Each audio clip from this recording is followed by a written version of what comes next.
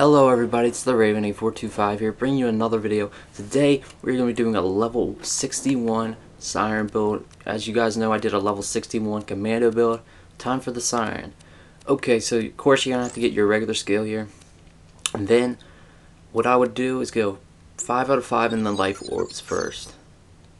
And then I'd go 5 out of 5 in Mind's Eye. You get critical hit damage and melee damage. And that's because I really don't like these two skills here and that's like the only good one. These two are like the only decent ones.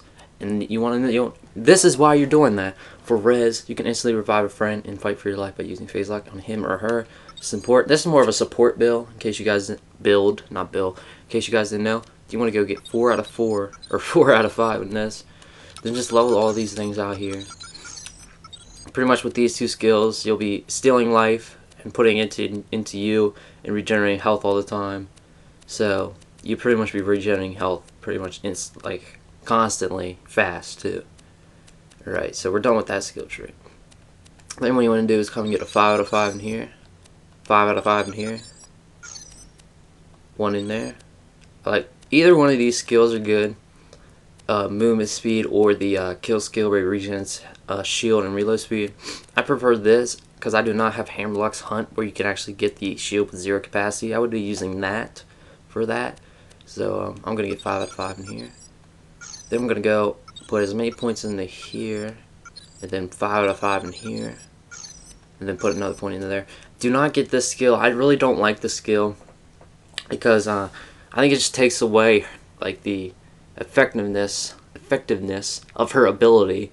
Which is to phase lock the people. And I don't like the mind control just I just don't like it that much. And with this, you always if you kill somebody is in the phase lock, you always phase lock another enemy, which is really nice. And of course, the cooldown, and of course the duration, which is very important. Uh, 2.5 seconds doesn't seem like a lot, but to the siren it is. And then um, I'll get to my class mod. Since you have the class mod, you want to put one in all those skills, and I just went out here and got this to a 5 out of 5. Okay, let's show you my setup here. I used the B. This is a pretty good B. 107,000 capacity, which is pretty high for a B. If you guys want any of this stuff, just message me on Xbox at Extreme Nova 98.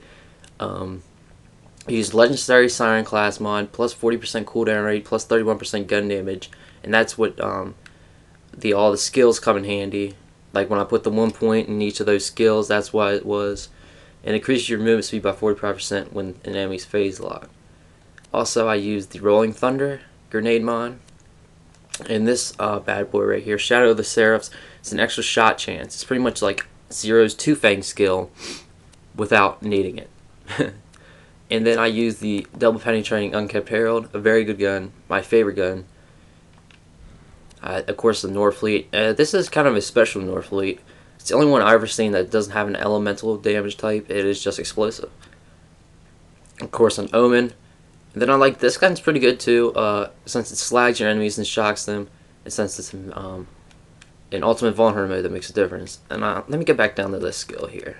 That seems like it wouldn't be that great of a skill. Once you get to ultimate vault hunter mode, it's very nice to just be able to shoot enemies and not having to switch to a slag gun. Just hitting the melee button and throwing out a slag orb that will, you know, slag all your enemies and um, make them much easier to kill. So um, this is my build for the sign. I was going to show you guys some gameplay, but I don't feel that's necessary. You guys can try it out yourselves and um, see how you like it. Leave in the comments if it's good for you or not. And um, please like and subscribe. Thank you for watching this video, and I will see you guys later. Peace.